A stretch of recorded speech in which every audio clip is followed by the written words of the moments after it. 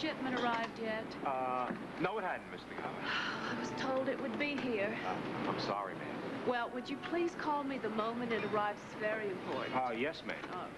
Oh, you got in my favorite preserves. Kelly, would you please take a case of this to No, no, no, no. Oh, I'm sorry. I assure you it's all right. I'm Barbara Berrenger. I do this all the time. Just write it up. I'm sorry, ma'am, but uh, I'm new here, and uh, uh, I gotta follow procedure. I mean, we don't want to foul up our inventories. I understand. I'll get it tomorrow. Call me.